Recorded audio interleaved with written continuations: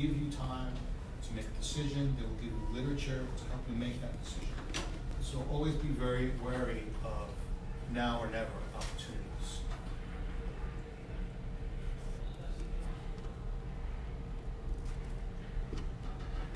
So we're going to take a look at some of the various ways that con artists specifically target seniors. We're going to look at examples of scams that we're seeing and some that have been running now for several years.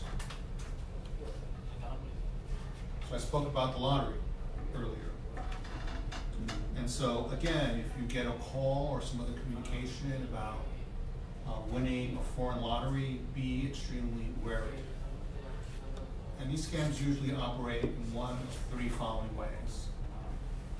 They ask you to send money, they ask you to forward money to pay taxes for your winnings in advance. People fall for this all the time, you get calls about this all the time. People wire thousands of dollars thinking that they're going to receive their winnings once they do it. Never happens. It's always a bad idea to wire money to someone who you do not know. Excuse me, sir. Yes. Do you need audio? Was- Uh, Did I'm you have not, an issue? I think he might. I'm gonna get away. You was, okay, my apologies. Thank you very much. Music, charger too. Um, secondly, they may ask you for your banking information so that they can make a direct deposit. Right, everybody loves the convenience of a direct deposit, but once you provide your banking information, what we're seeing time after time is that they have access to your funds. So we've got calls from people who have uh, lost substantial amounts of money because they provided a lot of their financial banking information. Um, so that goes to the point that you should never wire money to someone who you do not know. Oftentimes, people get a phone call from what seems to be an official sounding government agency. We hear that all the time as well. And so we've heard scammers call saying that they're from the National Sweepstakes Bureau. Okay, there is no National Sweepstakes Bureau. We've also heard complaints about getting calls from the, the National Consumer Protection Agency. It sound, that sounds credible to me. There is no National Consumer Protection Agency. And so if you get a call from what seems to be an official sounding government agency, ask them for their number and uh, make the effort to call back. Do a little bit of homework and see whether or not that's an actual agency or not. Battery's very low.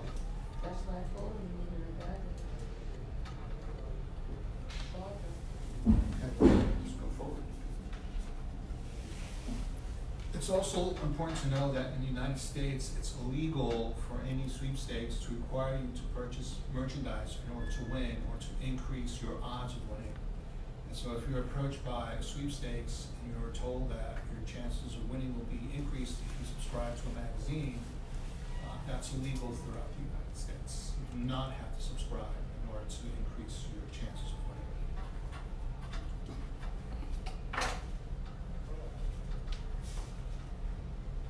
fake check scam. Uh, This is an actual check um, that was used to scam someone. And so oftentimes with this scam, you're asked to deposit a check and immediately wire part of that money to the person who's providing it to you. Right, so this check is for eleven thousand five hundred dollars. And so if you're asked to forward three or four thousand dollars for an eleven thousand five hundred dollar check and keep the rest, you might be inclined to do that. But we're seeing that there's no money behind these checks. You deposit the check, and then you wire a portion of it to the scam artist, let's say half of the amount. When the check bounces, you've lost not only the amount that you've wired to the scam artist, but you're responsible for the full value of the check. I-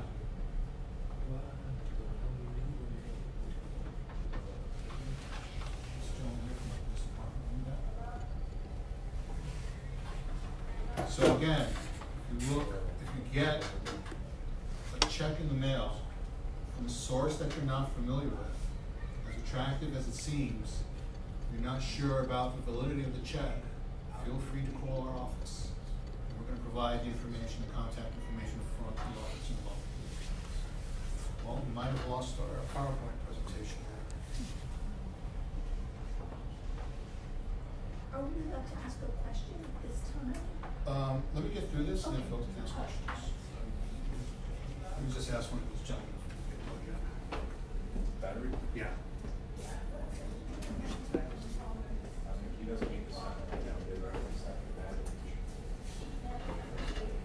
Okay, so again, with prizes and sweepstakes, there are some general things to keep in mind. Never pay to collect prize money. Legitimate lotteries or sweepstakes deduct the amount you owe to the IRS before you get the money, not after you get the money. Or you will have to fill out multiple forms directly to the IRS.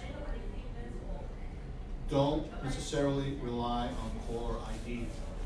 So a moment ago, I spoke about getting a call from an official government agency. Scam artists who are real good will be able to manipulate the call that's being made so that your caller ID will uh, identify a call from a 202 area code. 202 is Washington DC, okay?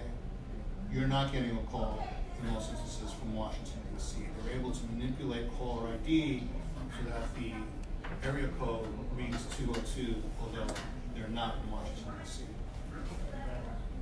Again, you don't have to buy a magazine subscription or buy anything else in order to enhance your chances of winning. That's illegal in the United States. And we ask you to just, you know, be a friend to your neighbors who may have been scammed. Um, please refer them to our office um, or to NYPD. We collaborate very closely with NYPD. Encourage them to come forward to law enforcement. Seniors in particular should not be reluctant or feel embarrassed about coming forward to law enforcement. So I spoke earlier about scam that concerns grandparents, that focuses on grandparents. So the scam typically runs like this. You get a phone call typically in the middle of the night or in the middle of your sleep. You're awakened by the call, and it's typically a male voice. And the male says to you that they're in a foreign country and either one of three things has happened to him. A, he was arrested. B, he needs medical treatment. Or C, has car trouble. He always never has any money, and so they'll ask whether you can wire money to him right away. And this last line is always used. Please don't tell mom or dad. I don't want to get in trouble. Why do you think they tell people, don't tell mom or dad? Cause mom and dad will say, hey, that's not true, cause they'll probably know where their kid is. They'll say, I just saw him five minutes ago, right? Grandparent might call the parent, and the parent's like, no, he's here, right? So, key to the scam is don't call mom and dad. I don't want to get in. So here again, the scam is always the same. It's a call in the middle of the night. You're ready for bad news when you get a call at one or two o'clock in the morning, three o'clock in the morning right? When you're awakened at two o'clock in the morning, you don't have your wits about you. So even if the person doesn't sound like your grandson, chances are you might say something like, "Is this Jason?" Right? You use the name of the grandchild. They're way ahead of you. Yes, yes, that's me. It's Jason, right? And so, um, uh, so we ran out of battery. Okay. Uh, this was here when so I think it's here. Okay.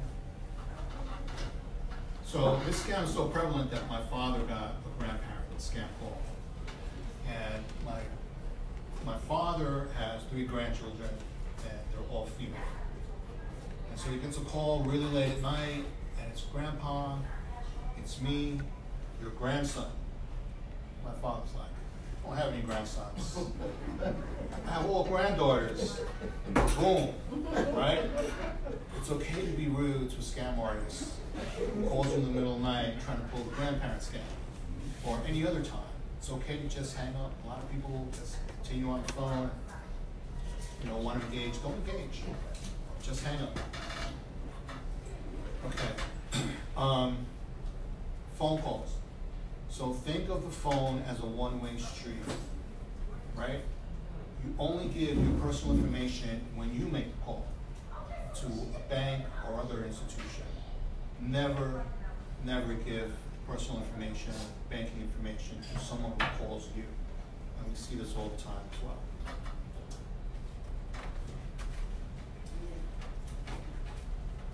So use caller ID as a screening tool. My parents are masters of this. They never pick up the phone. Never pick up the phone. Only answer the call if you recognize the telephone number. Okay, I'm at my parents' house all the time. They never pick up the phone. They rely on getting voicemail. And so that's the last point. Otherwise, let the phone ring and let it go to voicemail. Let's see who it is. How would you? So I spoke earlier about taking control, and so one way that you can take control to protect yourself is to register for certain do, uh, do not contact registries. And so this would be great if we can get this graphic on the screen.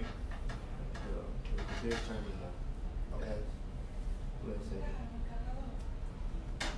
So I know I've been the recipient of many annoying phone calls from telemarketers, particularly when I don't want to hear from anyone. And so, um, how many of you are already registered with the Do Not Call registry? Okay, very good. So, people who don't want to receive annoying telemarketing calls can register their home or cell number, and telemarketers are therefore prohibited from calling you. And we're gonna get this graphic up in a moment, hopefully. Um, and there are two other uh, registries that I want to share with you that are, I think, very helpful. So the first one is called Opt Out. And with that, you can take your name off credit card and insurance offers, right?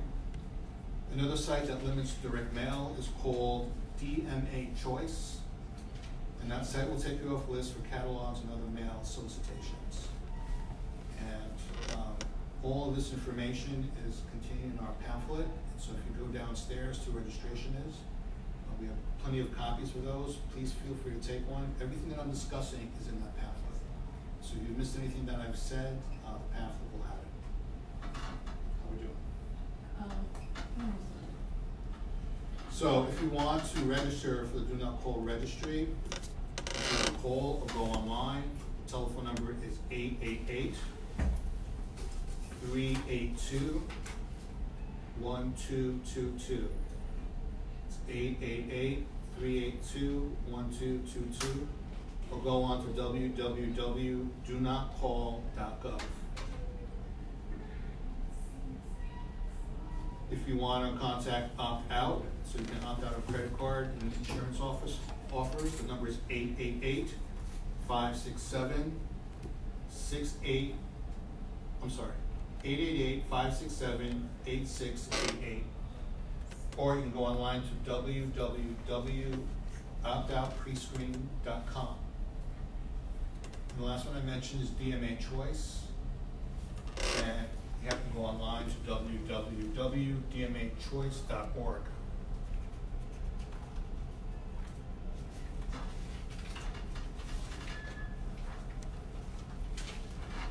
So another area where we see people getting scammed all the time, this is not just for seniors, but for the general population, concerns home improvement contractors.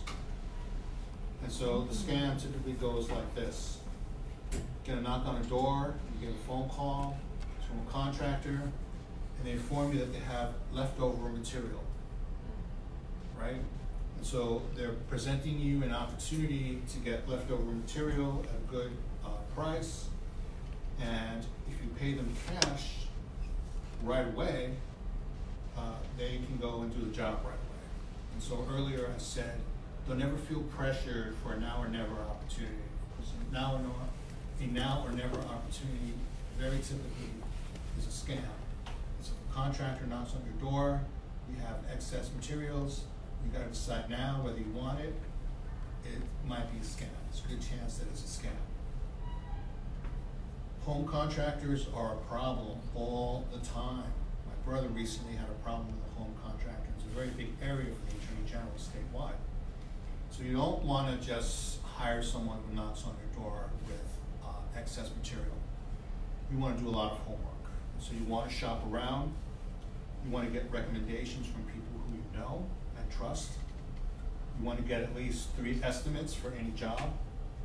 You wanna check with the Better Business Bureau to see if there are any complaints against that contractor.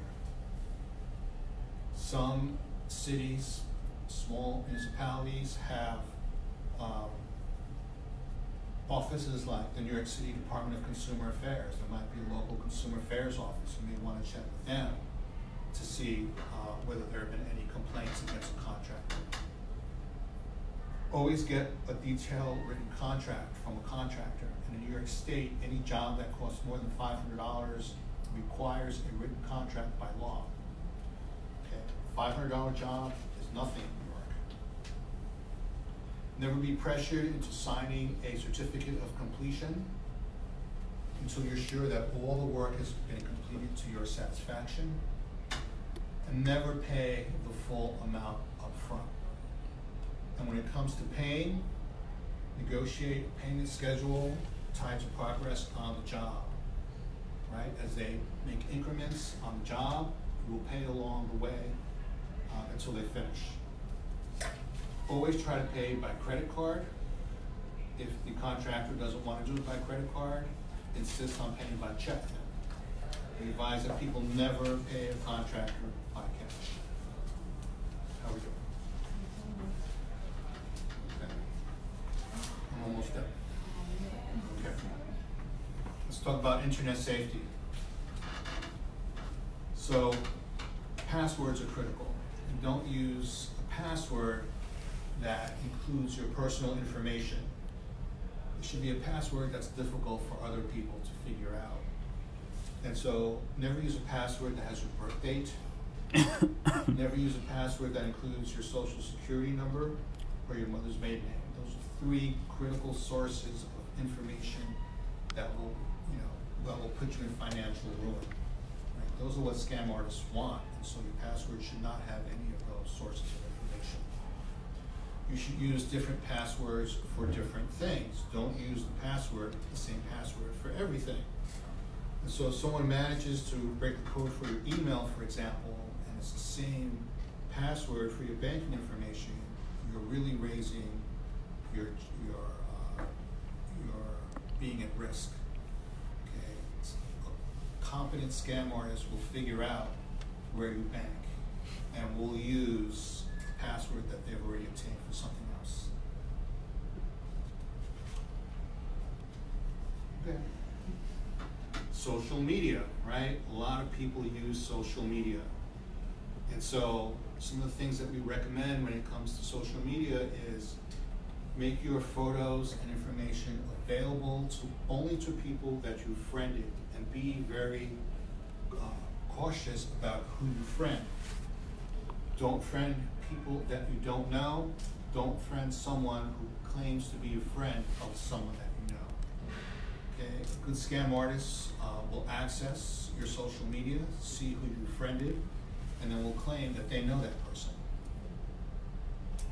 Never post your birthday on social media. Never reveal your home address or your telephone number. And importantly, never talk about your being on vacation for two weeks at the start of your vacation, right? People don't need to know that you're not home for an extended period of time. How are we doing? Okay. These graphics will come in handy, but okay. So, security measures online. So if you're the kind of person who likes to shop online, do your personal banking online, you need to make sure that there's an S in the protocol for the website. And so you wanna make sure that a website that you're going to shop from, or gonna banking or otherwise expose your financial or personal information, starts with HTTPS, and the S is critical. The S will inform you that it's a secure site. So there are plenty of websites that are only HTTP, right? You see that, it's not a secure website. You need to see the S at the end. When you shop online, always pay by credit card, not a debit card. Right, That's really key, always use a credit card, not a debit card, because your liability with a credit card is very limited. Um, And so if you do use a credit card and you've been scammed, uh, you're only liable for fifty dollars in fraudulent charges. If you buy with a debit card and they're able to access your bank card, I mean, your banking information through that card, they have free rein over the money that's in the account. So we very uh, strongly encourage people never to use a debit card when shopping online. Gone fishing. So phishing is another issue with online uh, activity. I've seen plenty of phishing in my time. So phishing is an attempt to acquire information such as usernames, passwords, and credit card details by someone who sent you an email or text masquerading as a trustworthy entity. So for example, I've gotten plenty of emails purporting to be from banks. And the ones that I've gotten the most are from KeyBank. And it does look very official. They're, they're very good at lifting the logo. They're very good at using the same font that the company uses. And, you know, it's very easy to be swept in by that because it looks so legit. Um, and so I've also seen the same from Chase Bank, which is where I bank. Um, and so if you get an email that purports to be from a bank and they're requesting your personal information, the email might report that um, your account might, might have been compromised. Please confirm your banking information, right? That's a scam, right? Never give your personal banking information uh, through an email or phone call, okay? All right, so that's phishing.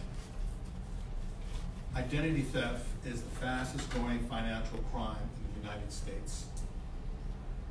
And so thieves oftentimes get hold of your personal information by going through your trash. Uh, they might go through the trash at a store or a restaurant where you might have made a credit card purchase, excuse me, at a doctor's office or over the internet. And so, three really critical pieces of information that you need to protect are your social security number, your date of birth, and your mother's maiden name. So scam artists who gets one, two, and certainly all three can do tremendous financial ruin. They can open up a credit card in your name. They can go to a bank and secure, or go online and secure a mortgage, right? You don't wanna have to deal with the headache of undoing that, because it could take a very, very long time. Nobody wants to, un- you know, experience the stress and the time that it takes to undo that. Um, and so, things that we recommend is to buy a shredder and shred all of your personal documents. It's not enough to tear it in half and throw it in the garbage. Safeguard your personal information. Um, if you are in a situation where you're, uh, you know, you have a home, you have a mailbox, don't put your bills in the mailbox because scam artists may get to it before the mailman does. Never carry your social security card. Commit your social security number to memory. Right? If you lose your wallet or your purse and your social security number is in there, your name is on that card as well. Uh, review your bank and credit card statements carefully each month. This is critical. I do this, and I do it in particular because I saw a three hundred and fifty dollar credit uh, charge on one of my credit cards for steak knives that were purchased in Switzerland. And I kept looking at it, and I, you know, why is that charge on my on my statement? You know, could I possibly have purchased Oh, of course I didn't purchase steak knives. I don't know if I purchased steak knives from Switzerland. So I called the credit card and we were able to get that charge off of my credit card. Uh, So it's important to go through your statements. Don't just assume that every charge on there is legitimate. How are we doing? Towards the end, but good. Okay. Um, so I'm on the page that reads identity theft. It's towards the end. Uh, no, keep going down. Uh, Yes, that's it. So everyone is entitled every year to a free credit report, and it's important that you access that. When you do get your free credit report, take the time to review it very carefully. Check for accounts or addresses that you do not recognize, uh, or any information that is inaccurate in any way. Okay? And if you, uh, wanna access getting a free credit report, go on to this website. It's, uh, no, it's not on the screen.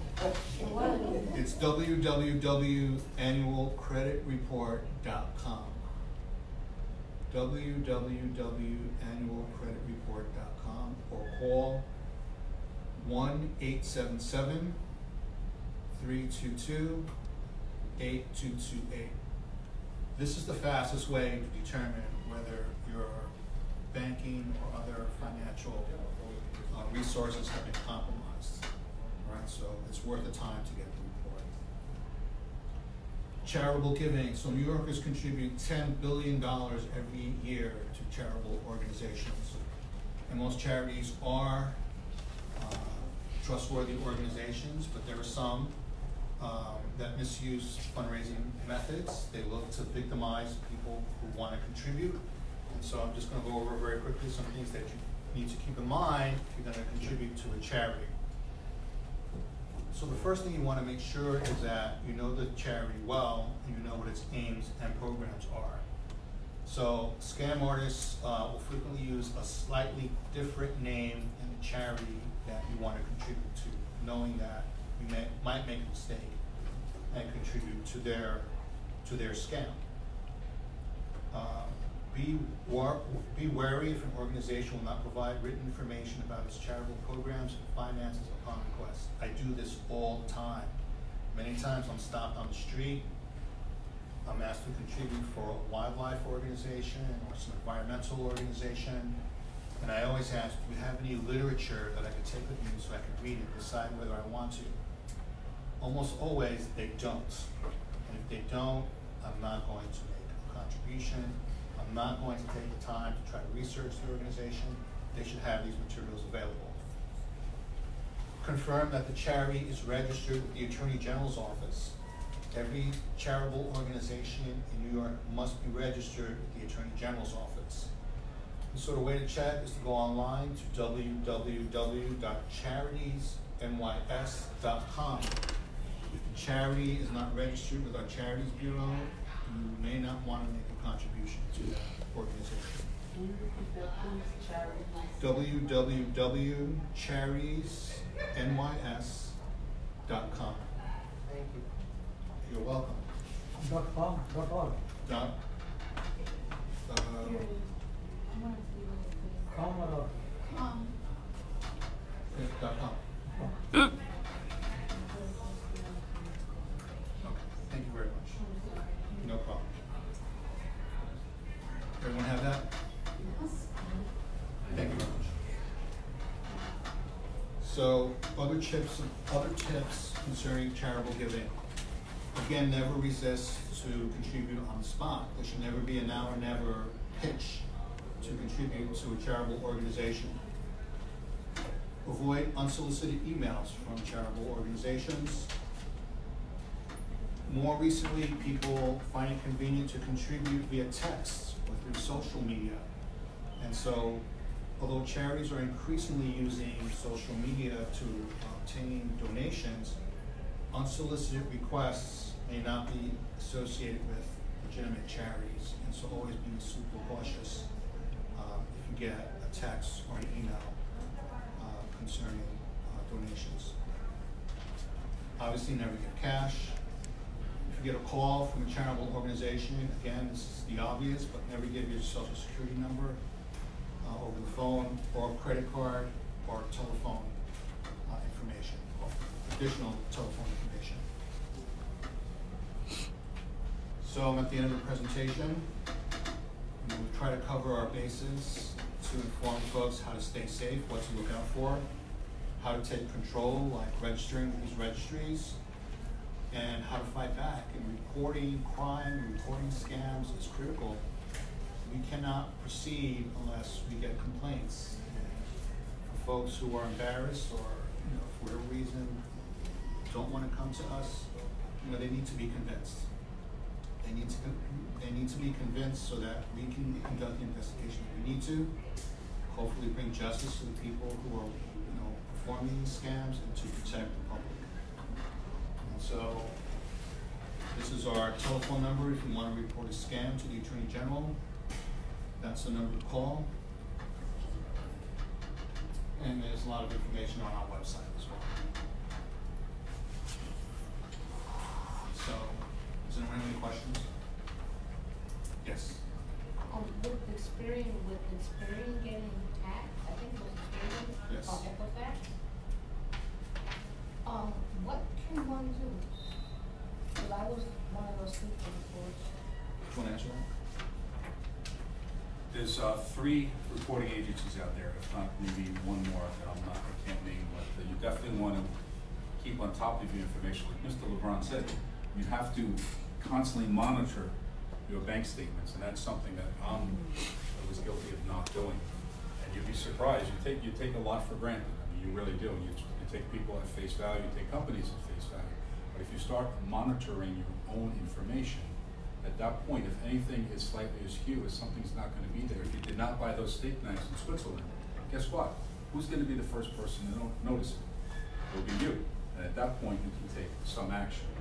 I would keep faith in the other reporting agencies and be guided by that, uh, company's, uh, remedy to the, to their problem. They're a big company, we live in a, we live in a very safe world, we live in a dangerous world, technology, everyone's walking around with the phones, and it's a great thing, it's a great thing until a hundred million people get hacked. But we, ha- you do have to keep faith, uh, they are on top of it, they have anti, uh, phishing software, they have all this great, great stuff to stop that from happening, but every once in a while, we have things like that happen. But when things like that happen, the companies themselves, the IT people, they learn from it, they, they install measures for that never to happen again. This is a constant evolution, what he talked about, he named, how many scams did he? There's so many of them, right? And that's the amazing thing to me, I mean, we come out, I've been doing this a long time, Mr. LeBron's been doing this a long time.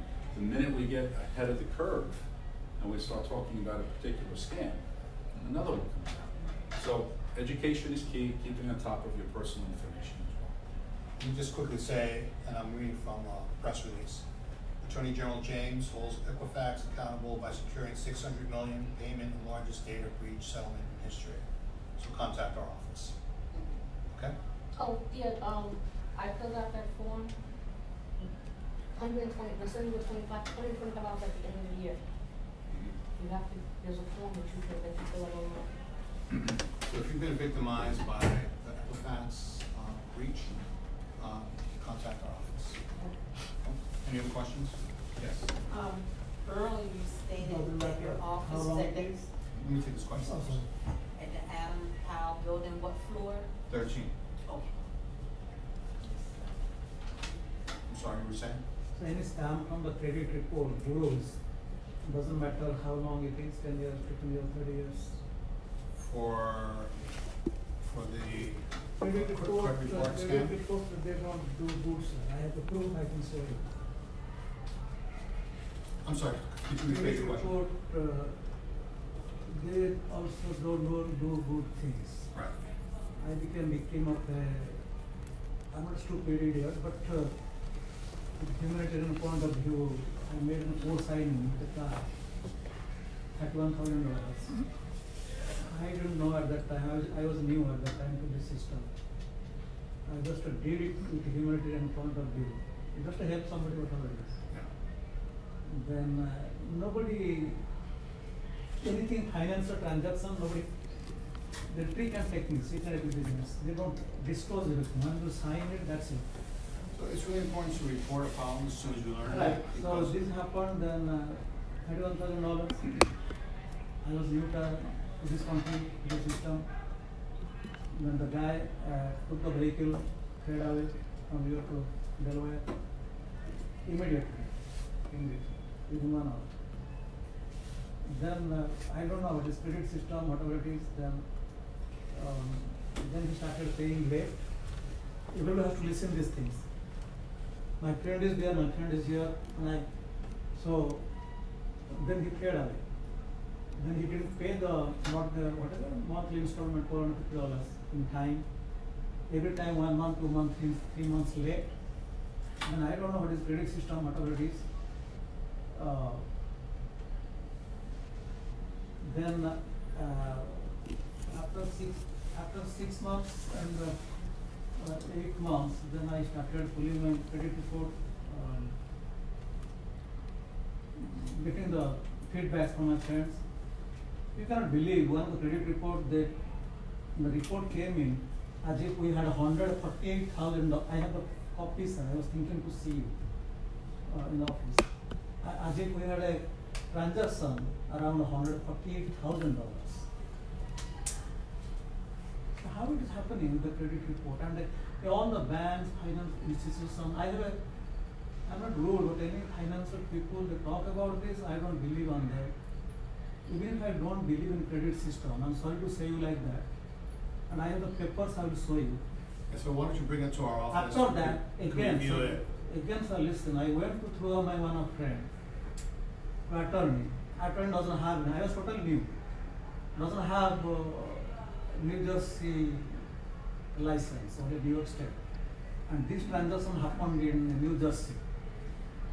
Uh, then my friend who recommended, eh, he does not know New Jersey license, New Jersey li- New York license. Then attorney, I'm sorry sir, everybody's in the profession. Uh, then um, okay, I will help you whatever it is. Then he doesn't want to take uh, uh, check. Anytime you come in, you have to pay him two hundred dollars. I told him bring the money back, thirty-five thousand, thirty thousand Excuse me, dollars. sir, what's your question? The credit, Yeah, ask, ask your question. It is scam. I'm talking about the scam. It we scam by the credit report. Just ask your questions, we can answer it. So, yeah, I, I, I think the better thing is to come visit our office, bring all your documentation, yeah. we'll sit through it and we'll. That is we'll good for ten years, twenty years, thirty years. No, so you should always report as soon as possible, and we see a pattern of fraud and we're investigating and we decide we want to bring a lawsuit, we try to do that. matter how long it We try to do that within three years, three years, okay? Thank you. Any other questions? Yes. Um, you mentioned that we shouldn't give out our birth date or address or phone number over the internet. But if I Google my name, it comes up my birth date, my address, my phone number, these different websites, mylife.com, spokeo.com. I mean, what can we do to stop them from putting our personal information all over the internet? I, I can answer that one. Have an Um, audience. What you have to do, go to the bottom of the page, or else just Google opt out of whoever it is. I have, and I've written to the companies telling them, you know, that they're creating, because I was a victim of domestic violence, I don't want all my personal information but, but just, on but you the just have to keep writing, because the Scorpio, I did that, and my information is off. So just keep, keep Googling opt out of They whoever, of whoever your information is on, Yeah. and then fill out the form, and just keep doing it, or else, go to report to And the they Attorney also have General's false office. information on there, they're trying to get people to pay fourteen dollars to get a, a background report on an individual. If they want you to pay that, if you wanna get your information taken off, or if you want to see the actual report on yourself or someone else. And then it, it's very misleading, it says this person may have, uh, court or criminal records or all sorts of things, and I think that, that should, something should be done about it. So I'm gonna give the number to the Harlem office. Okay. It's two one two, Mhm. three six four, six zero one zero. Mhm. we have mediation, we have mediators on staff, uh, every day, all day. And, uh, register a complaint and we'll, we'll pursue that for you. Thank you. We have an internet bureau that often deals with these kinds of issues as well. I'm gonna hand it over to Officer Morales, very patiently waiting. Thank you all for being here.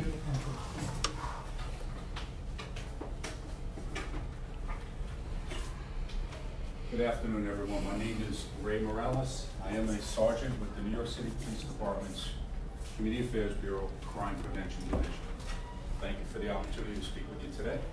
Uh, Mr. LeBron is going to be a very, very hard act to follow because he did cover a lot of material, and I hope that you absorb everything that he had to say.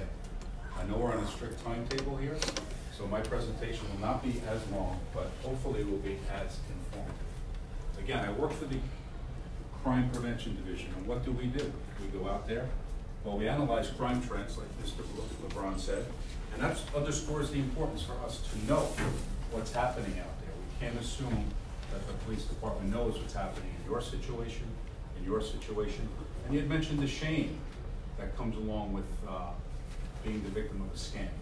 I've been out there, I've- I've talked to not only seniors, and by the way, I thought this was a senior event, I don't see many, many seniors here. But that also is something that we're seeing now. When, when you used to ask me about phone scams five years ago, my mind would go to the senior community right away. It's not, not the case so much. We have people out there that are victims of these phone scams that are my age, younger, people that are educated, people that are working very, very hard, and they're losing their life savings in a matter of one phone call. He mentioned something that resonated with me that I like to underscore when I go out and speak to people. I want you to be rude. Okay? We live in New York City, we have a, sometimes a bad reputation of being rude, but when it comes to that unsolicited phone call that you did not initiate when you're sitting in the safety of your own home, I want you to be rude. I want you to remember me standing up here right now and saying, it's okay to hang up. It's our human nature, especially as we get older, as I get older. You learn, you evolve, and try to be a little bit more kind to your fellow person. It's so much, so difficult to say, I'm sorry, I have to go. I've been there. And they follow a script, he probably has a copy of the script. That's incredible. They can tell any story at any time, and it's constantly evolving. But I, again, I'm coming back to the fact that I want you to be rude. I want you to hang up the phone and getting that phone call for, for that, for that particular scam.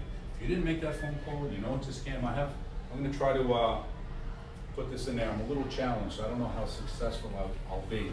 But we have some samples of the phone calls that you're going to receive. But forget about the phone call, the phone call, in the safety of your own home. You get a knock on the door, and you're not expecting a visitor. What do I want you to do? Not answer the door.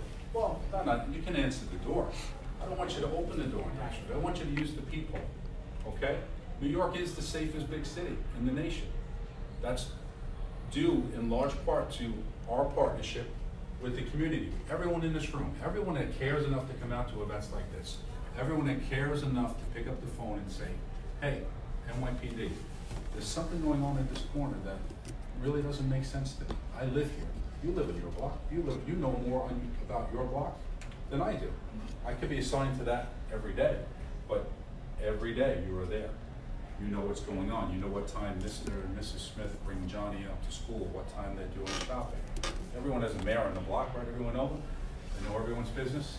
Oh, you're the mayor? You're the mayor. So there you go. You're the person I want to know when something happens on that block. Because you're gonna be a wealth of information. You're gonna come to me and say, I know, I saw that car, and hopefully you're gonna be astute enough to write down the plate, because that's a lead for us. Again, you can't assume we know, I'm going all over the place, because a lot of the stuff he said, I mean, everything he said made a lot of sense. And we work closely together. I, we're, we're more uh, boots on the ground, so to speak, and when we come out a- as part of the crime prevention Divi- division, we come out and we speak to groups like this, we talk to community councilors, we talk to anyone that's willing to listen, tenant associations, because our hope is to raise public awareness about what's going on out there. I'm gonna date myself now, but uh, back in the day, there was a commercial about VO5 shampoo. I don't know if you remember it or not. And the whole point of that commercial was, if you tell two friends, you'll tell two friends, and so on and so on. And that's exactly what we need. But that's kind of like what social media is, about now. Pretty much you can press a button and you're telling thousands of people. But I'm not on social media and I get a lot of my information from people, neighbors. Wouldn't it be great that you can count on your neighbor, that mayor on the block, that said, you know what, I saw someone knocking on your door. Okay? I don't know if you were expecting a delivery or not. There are so many different things that we have to look at and be careful of on the internet, your personal information. Technology is a great thing. It's a fantastic thing. Look at where we are right now and what we can do from our phone, from our fingertips. The amount of information we can get, everyone here, we can get tons of information. All the websites you mentioned, they can Google your name, find out who you lived, what car you drove, who you live with, what car you drove, where you lived previously. And guess what? If you have a bad mind, nefarious mind, you can use that information for, for bad things. So in my world, in the police world, we like to think of a term, we use a term rather, called uh, DOA. Has everyone heard that term? What's it mean? Dead. See, everyone thinks it means dead on arrival because of the police department. In, in my world, it's a little bit different. It's DOA, and I, I searched the building for chalk, and there's not one piece of chalk in this entire college.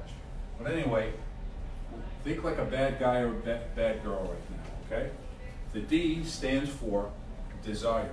That bad guy or bad girl has to have the desire to want to commit that crime, right? Nothing we can do about that, and all the good people in this room. We got the D, desire. We're going to skip over the O now, because we're going to ask everyone to take a guess at what that means. Now we go to the A. The A stands for ability. That same bad guy or girl has to have the ability to commit that crime. And years ago, before the city was as safe as it is now, does anyone, anyone remember how bad the city was? Or uh, we had to worry about guns on the street and stuff like that. Not that we still don't worry about that, not to that degree, but now you're in the safety of your own home and you have to worry about that phone call. So it's a little bit different how the crimes are being committed now. So you have the desire, we skipped over the O, and we have the ability. So think like a bad guy or girl, you have the desire, the ability. Does anyone want to venture as to what that O means? Opportunity. Opportunity. And what I'm going to say to everyone in this room, that we all have the ability to take that O out of that equation. Those are the three elements we need for a crime to be committed. Okay? The bad guy or girl needs the desire, the opportunity, and the ability to commit that crime. Everyone here in this room, everyone here in the city has the ability to take that O out of the equation. If you take that O out of the equation, guess what? The crime cannot be committed. And that can be as simple as reporting, no, hanging up the phone. Right? Is the opportunity there for you to get scammed? No, you're hanging up the phone because you know better.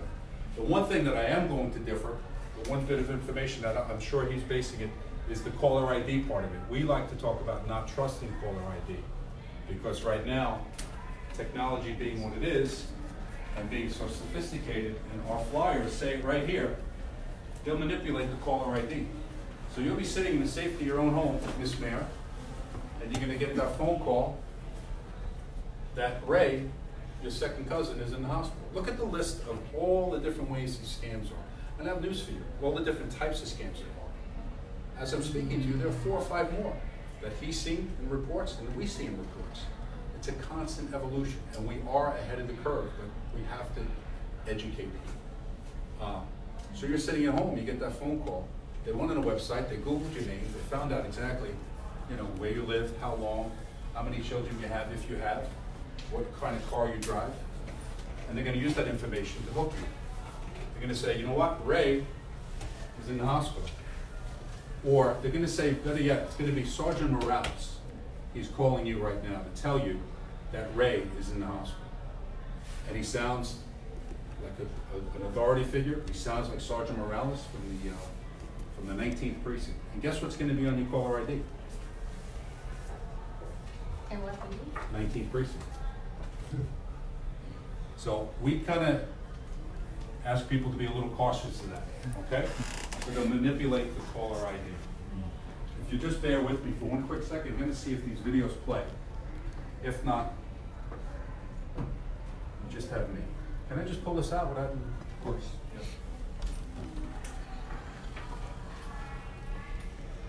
So DOA, desire, opportunity, and ability. We all, does anyone remember what room, we're- room we're in right now? Fifty, thank you. I am the first person to forget where I am. What I'd like to ask is, if anyone here, we're, we're all New Yorkers, obviously, right? And we all had our goal today.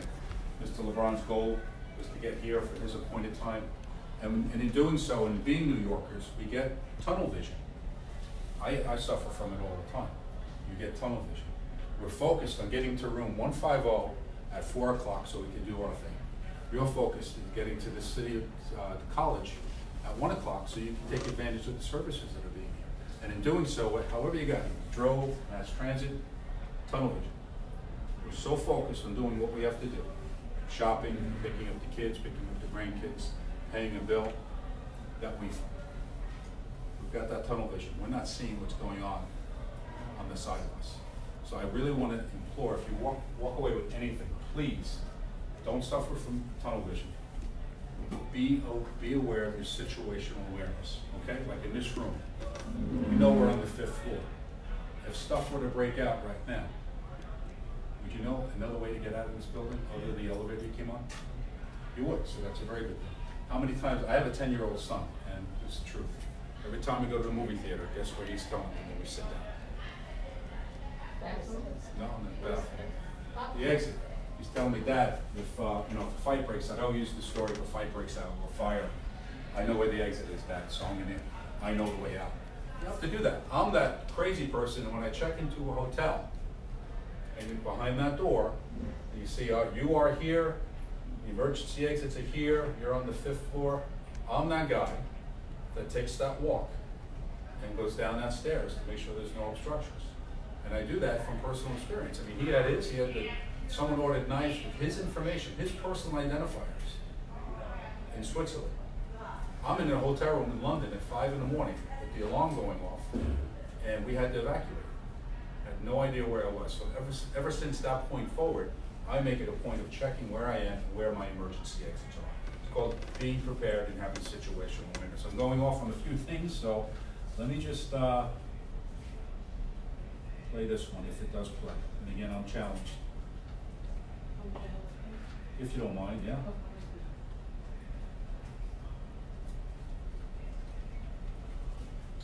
When it says, uh, one in the second one, yeah. Phone scams. I passed out that card, and then I also pass out this book. We have one that is specific, specifically for seniors. They are downstairs, I just don't have them with me, but they cover pretty much basic safety tips. Tips that, as New Yorkers, we need to be reminded of every once in a while. Talking about situational awareness. When you're traveling to and from to the presentation, safety in numbers. When you're going home in car service or in public transportation, what to do to better protect yourself. All those tips are in here. Quick question for everyone here. By a show of hands. Well, first of all, has anyone ever had that feeling, that old cliche, he had mentioned of, it's too good to be true? How many times have you heard that, right? All right, and odds are, it's too good to be true, it's too good to be true, you shouldn't, you shouldn't succumb to that. I'm gonna throw one at you now that says, uh, the hair in the back of my neck, so that feeling in my stomach. How many people have ever had that feeling? You know, that something wasn't right. Now, keep your hands up if what you were feeling was true at the time. A lot of hands stayed up, right? You know why? It's your instincts telling you something. The other takeaway I want, if you remember anything here, is trust your instincts. If your instincts are telling you that phone call you're receiving is a bad phone call, hang up. The other thing is, I told you, I gave you permission to hang up, right? Please hang up the phone. You don't have to listen to the people. You could be rude. Trust your instincts. If you're walking into an elevator and you feel it, again, you know your building, you know who belongs, who doesn't belong, who may be a visitor, but maybe you just, you get that feeling. It's okay to be rude. It's okay to extract yourself from that elevator. Oh, I forgot to get my mail. Better to be safe. Forget that knock on the door. Have that conversation from behind a locked door instead of opening the door. There's nothing written that says when you have to greet the person by opening the door. Because once you open the door, guess what? They're gonna use force to try to get in. We're good? No sound, right? No, okay, all right. This is just the phone scams that uh, Mr. LeBron talked about, and I talk about it all the time. This one happened to deal with, this was hot probably two or three months ago. This was the Chinese consulate scam, where they call up and pretend they're from the Chinese consulate, and of course, they're soliciting money. Now, I want to show you, we talked about technology. This is my private phone, you can tell that it's dented. It's got all the scratches. And this is my NYPD department issued phone, iPhone. Very expensive, and it's got all these security protocols in it. Anything I do on this phone, the people in headquarters know. They know exactly what I'm doing. You think I get phone, scam phone calls on this line? No. Every day. Mm-hmm. Every single day. I was saving them to voicemail, but I had to delete my files for a bit. But even with this secure phone, an NYPD issued phone, Mr. LeBron, do you get yours on your work? I do. On, you do? And they're trying to hook you, they're sticking to their script. Just imagine a group of bad people in a room, each one with a desk, each one with a computer, looking up your last name, and again, your personal identifiers and everything about you that they could use in their story to scam you. Okay? So that was the uh, Chinese conflict scam. The other one that's more topical right now is the social security scam. Okay, that one, it seems to be uh, far in front of all the others. Social security. There's a problem with your social security account or your number, and it's, the uh, scam is automated. It sounds like a robot. So, 你好，这里是中国驻美荣领事馆 here's，the audio from 你 the 有 other. 一封重要通知书。大家好，我是江警官，纽约市警察局。 今天我在这里是想提醒一下大家，我们最近收到很多中国领事馆诈骗的案子，他们会把就说打电话给你，微信给你，然后就说或者留言给你。如果你收到这些电话，直接把它挂掉。他们主要目的是想要拿你的银行卡、名字、工卡、信用卡。但是如果你已经把这些资料全部给了他们，而且钱已经被他们拿走了，你要马上去我们警察局去报案。谢谢大家。 So that was the actual phone call you would get. Again, it sounds like a robot, and it's automated. You just jump to the other one. It's the social security. So again, what we do is we, we discover what's happening based on Phone people scams reporting it to involving us. Social Security Administration imposters are on the rise. When you hear Social Security scams, you think of seniors. But this scam is affecting people of all ages from all walks of life. Millions of dollars are lost every year. Here's what you need to know. If you receive a phone call appearing to be from the Social Security Administration, be it from a person or a robocall, it's very likely that this is a scam. Scammers use technology called spoofing to manipulate your caller ID so it displays the number of the Social Security Administration, police, or other government agencies. The caller may say that your Social Security number has been suspended due to fraudulent activity, or it's been involved in a crime like drug trafficking, or that your bank account is about to be seized or frozen. The caller may even say that there is a warrant for your arrest. Often you'll be transferred to someone who is impersonating an NYPD officer or another fake law enforcement representative who will back up the story. They will scare you into thinking the only way to safeguard your money or to avoid arrest is to purchase prepaid gift cards such as Apple or Google Play. The scammer may request you send cash through FedEx, a Bitcoin ATM, or to wire money to a new protected bank account. This is a scam. Do not send payments under any circumstances. Just hang up. Remember, the real Social Security Administration, police, and other government agencies will never contact you by phone and demand payment or ask for your Social Security number, driver's license, or bank account information, period. If you've lost money in one of these scams, go to your local precinct to file a report. How many people here would pay their utility bills, their tax bill with one of these? That's what they're asking you to do. When you get to the nitty gritty of the scams, that's one way. I mean, this, the majority of scams, they ask you to use, go out and purchase these to pay a bill. How many here would do that? An Apple gift card, an Amazon gift. Would you pay your Con Ed bill with it? No, okay. How many people do that every day? You get the reports, right? Mm-hmm. How many people would bail out a sick relative using this? Doesn't make any sense, right? Too good to be true, not too good to be true, but it just doesn't, you try, gotta trust your instincts in this one, right? Years ago, it was, uh, Green Dot, does anyone remember the Green Dot car? This was really hot and heavy, we did a lot of work with our retail partners. And we still work with our retail partners, so if they see anyone coming in to purchase any type of gift card, Green dot. Green Dot, Apple, they see anyone coming in to purchase ten cards for five hundred dollars each. Not that they can't sell it to you, but based on our public awareness campaigns and us working with them, the, the associates at the store will ask, are you buying it? And they're, they're equipped with these flyers, the ones I handed out. Excuse me, if you're buying it for any one of these reasons, you may wanna rethink your purchase. And it gives the customer at that point pause to think about, all right, maybe I am being scammed. And we have a lot of success stories to that end. Now, what was mentioned in the video, and we don't have, we talked about technology. People are calling up now and saying, Bitcoin, you gotta pay your Con Ed bill by Bitcoin. They don't have to do that, they don't accept Bitcoin. But that's the other thing now. Or wire transfer money. Now, the newest thing right now, let's forget everything we're talking about, forget about tech, about technology. Guess what they're doing now? They have you on the hook. You're the senior, you're a non-senior, they have you on the hook for that scam. And guess what they're gonna do now? They're gonna come by and pick up the money. We have a few reports of people just coming by and picking up cash. So you have to raise your awareness, you have to remove that opportunity from everything we do. Situational awareness, be aware of what's going on around you. Just try to envision every day that person you see walking the street, do not look at what's going on. They're so worried about what's happening on the phone, they have no idea what's going on around them. They don't see uh, the person with the gun on the corner. Not that that happens often, but they don't see what's going on around them. You have to keep your head up. You have to walk confidently and walk like you know where you're going. Like, you gonna mess with me right now? Or if I'm walking like this, you know, I'm a little distracted, right? Uh, What about through PayPal? PayPal's another one. Pay- PayPal is another one. How many he- here still write checks?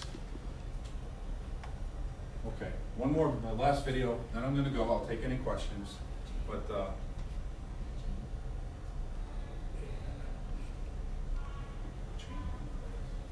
Oh, yeah, the chain. Thank you. The actor in this is extremely good looking.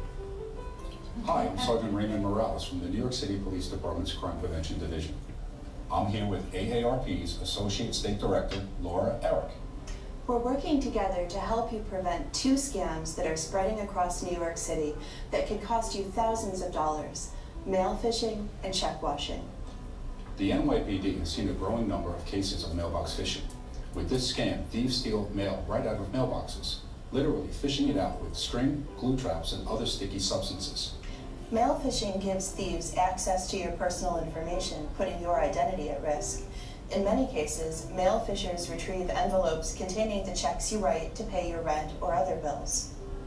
Using common household products, they can alter the checks, making them payable to themselves or others, a crime known as check washing. Combined, these scams can compromise your identity and your hard-earned money. But there are ways to prevent mailbox phishing and check washing. When sending mail, especially sensitive information or checks, drop it directly at the post office or hand it to your mail carrier. If you use a mailbox, deposit your mail as close to the scheduled pickup time as possible. To prevent check washing, use a pen with pigmented or permanent ink to write out your checks. Or if you can, consider transferring money using other secure methods. Shred any voided or incorrectly written checks and review your account frequently to ensure your checks are cleared by the establishment that you wrote them out to. If you think you are the subject of either of these scams, don't be embarrassed. It can happen to anyone. Contact your bank if someone has altered or stolen your check, or if you believe your account has been compromised in any way. You can also call the AARP Fraud Watch helpline to share your story and receive assistance at 877 908 3360. Be sure to report these scams to your local police precinct or police service area, as well as the postal inspectors at 877-876-2455. We partner with them to combat crime involving the U.S. mail. Staying informed prevents crime. That helps keep us all safer and more secure. Thank you. Anyone know what you need to commit mailbox phishing. You can go to the 99 cent store and buy a glue trap, a mouse glue trap. Take your shoelace, tie, peel that mouse glue trap back, tie it around a can of soda or a bottle of juice, and drop it in the mailbox. And their hope is to have the mail stick to the glue trap when they come up, and they're hoping to find money, or if they find the checks. I have uh, probably of the thought now, I'm gonna do chain, that's what I'm gonna leave on. I'm probably of the thought, thought, uh, the mindset now that they're not gonna check, wash your check. What they're going to do is take your routing number and take your, your uh, checking account number and just develop, print up a new set of checks. That, that check washing that they mentioned, it is simple, I've done it. All you take is acetone, which is nail polish remover. And if you, you don't, they mentioned using a pig, a a pen with pigmented ink, it's permanent ink.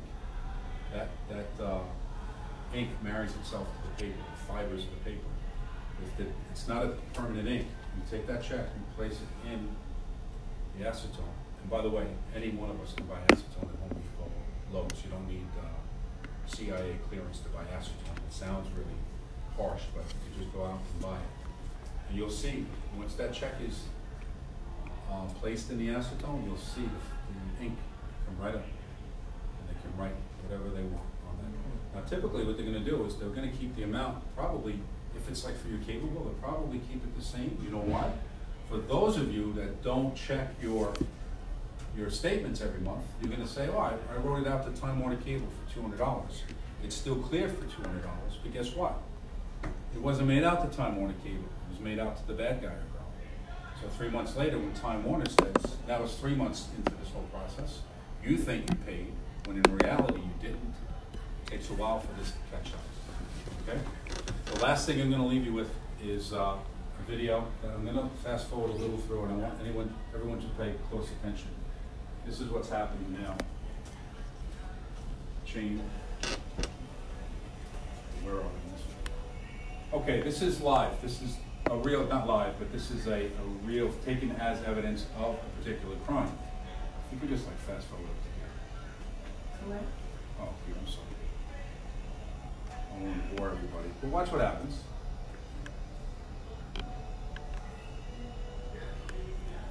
Any street corner, right? New York City. You can even go up there.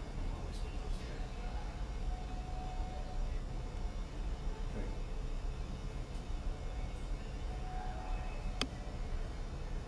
Oh, wait a minute.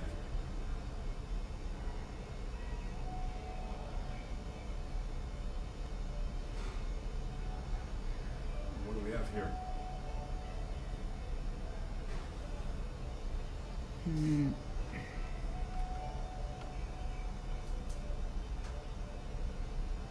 There's our victim. Someone please tell me what's gonna happen here.